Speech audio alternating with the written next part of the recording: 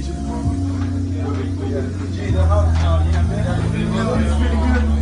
you should know that I've got you. Secret admirer.